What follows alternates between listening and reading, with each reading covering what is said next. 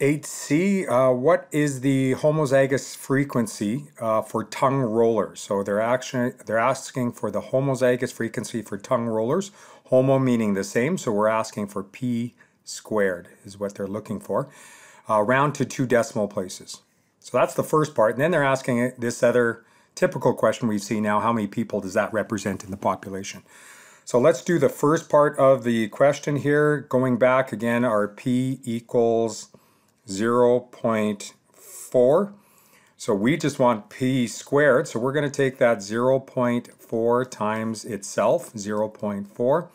p squared is going to equal 0.16.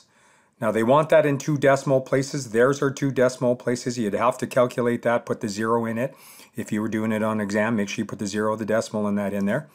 And that's the first part of the question. But then they said, how many people does this actually represent?